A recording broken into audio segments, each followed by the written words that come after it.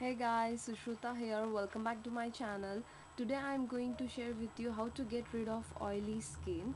In this summer, so many people are suffering from oily prone skin.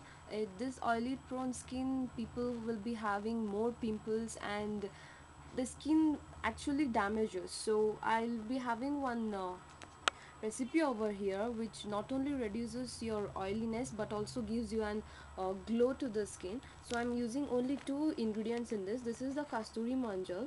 This uh, if you have organic turmeric powder you can use that also and some aloe vera gel. So i'm going to add half teaspoon of uh, turmeric powder and one teaspoon of aloe vera gel. The ratio should be same guys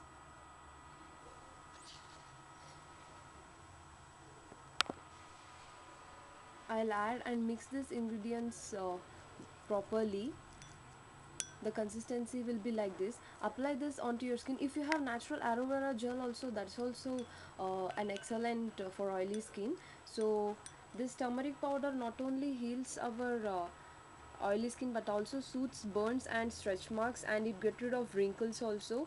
And uh, this turmeric also reduces the skin pigmentation. So do try this out and uh, get rid of your oily skin. That's it for today's video guys. Thanks for watching. If you like my video please do share with your friends and family and like my uh, video. And uh, press that bell icon uh, near the subscribe button so that you won't miss any of my upcoming amazing videos. So that's it. Bye. Take care